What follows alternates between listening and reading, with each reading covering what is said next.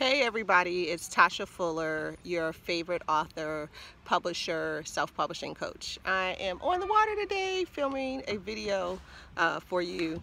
Um, today I want to talk a little bit, and this would be part four, of what to do next. So you've written your book, you've gone through review and revision, and now it's time for you to send your book to the editor.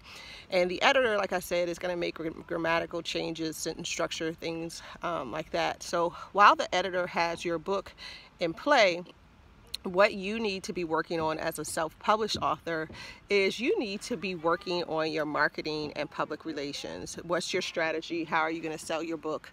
What are you going to do next? So one of the first things that you need to do um, if you're not a children's book author, and I'll talk a little bit about what to do if you're a children's book author and how you work with your illustrator in another video, but everybody needs to do this, whether you're a children's book author, motivational author, it doesn't matter what kind of author you're going to be. If you're publishing your own book, you have to think about your marketing strategy because the real work actually begins once your book is published. Like once you send the book to the printer, what are you doing next? And we'll talk about how you upload your book and um, that in another video. So two other videos, how to work with the illustrator and how do you get your book ready for press. That will be in two separate videos. Um, but while your book is at the editor, you want to start looking at things like your domain name, um, making sure you have a following on your social media, uh, and what social media outlets are you connected to, how, what's your niche, and who do you want to target.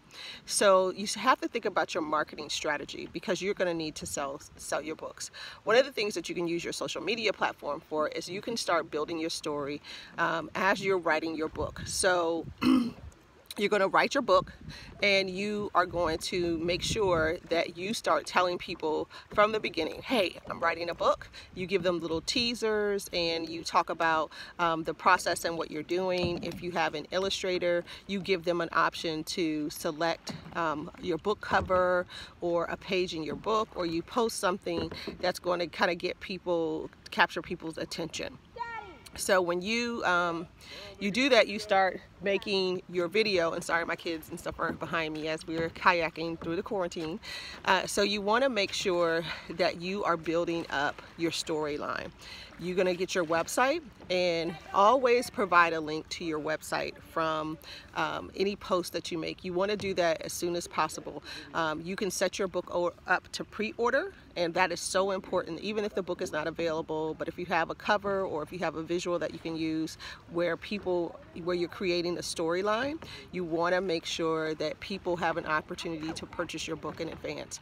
You can sell your book even when it's not ready. That's what's called a pre-order. Even if it's two months down the road. I don't suggest it doing more than two months down the road, um, but you can sell your book in advance. You can click, they can pay for it, and you can start selling your book because the goal as a self-published author is that you want to break even by the time you're ready to release your book. I've always broken even every time I've published a book. I've already sold at least 250 copies before the book goes live, and I want to make sure that I've already sold my book. So part of that is having a domain name. Um, that was kind of like a thing for me. First I did it as a picture cover like okay this is the title of my book so this is what my domain is going to be um, and then I realized as I created more books I couldn't create a domain for every single book so try to use something that people are going to remember whether you have a series and you pick a series and then you have um, it, or using your name, some iteration of your name. Most of the time, my husband's trying to get in the video, most of the time, if you use an iteration of your name, it's gonna be easier for people to remember and you want people to know them. So the first website I had was It's Bath Time Baby, that was the name of the book. And then I did another website for Little Freddy's in the Zone. And so then I'm carrying two websites. Um, and then I was carrying another website for the third book. And then finally I was like, okay, enough is enough. How can I bring everything under this umbrella?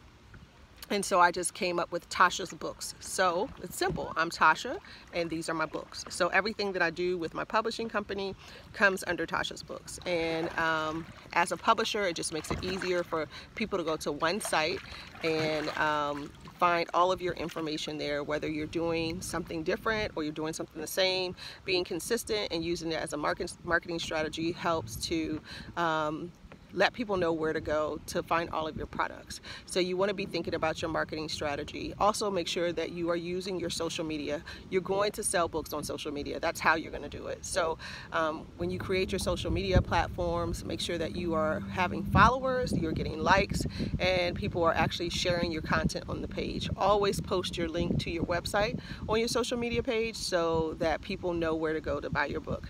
It's great if they buy it from Amazon, but it's better if they buy it from you because um, you're going to make more money off of your books. We'll talk about pricing strategies in another video, um, but this is the one really about what to do when your book is at the uh, the editor so you're not sitting around twiddling your thumbs. You also need to get a professional photo shoot. Get a professional photo shoot because that's so important. You want to market yourself as professional as possible and you want to continue to move your brand forward because you're selling your brand and people are going to be looking for stuff um, as they are looking for you at, as the author. So some of the things that you want to do is make sure that you get your website and your domain you want to make sure that you keep your social media page up and then you also want to um, get some professional photos done you should also be gearing up to your release. Um, as soon as you start working on this stuff, you need to be working on your release party so that you give people a time and a date to come and see your book, whether it's through a local library. I've done it at the library. I've done it at a clubhouse. I've done um, releases at coffee shops, wherever you can get people to come and purchase your books. And if you can get them to purchase them in advance before they come, so get your copy in advance. Um, you can even tell them that you're not selling copies on site. You have to have your book pre-ordered um, so that you know how many books to bring and then of course bring a few extra books for those who you don't know who are coming. So when your book is at the editor, there is still work to be done. Don't think that you can just sit back and chill and wait for the editor to come. You need to get your website together. You need to get your press material together. You need to be working on your social media pages. You need to be coordinating your um, press release. So those are just a couple of things that you could be doing uh, while your book is at the editor. I will come back to you again with another short video on, like I said, pricing, working with illustrators, um, and other topics that you need to know as far as uh, being a self-published author. Again, this is Tasha Fuller. Um, I'm with Tasha Books, and I provide uh, self-publishing coaching. I'm an author, self-publishing coach, and a publisher. See you next time.